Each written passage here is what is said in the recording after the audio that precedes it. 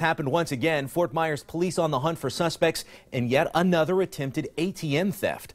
Monday night, three men were caught on camera trying to break into an ATM at the C1 Bank on Red Cedar Drive, just off Summerlin Road. They caused considerable damage to the ATM, and, but they took off empty handed. That same night, a group of guys unsuccessfully tried to steal an entire ATM at the Bank of America on Matthew Drive. Now, at this point, police aren't sure if these cases are connected, but legal experts say the evidence will help police build a case against the people responsible whether it's a picture, whether it's fingerprints, something to prove that this person is the one who was there at the scene at the time. That's, a, that's legally sufficient for them to make an arrest and to build a case against them.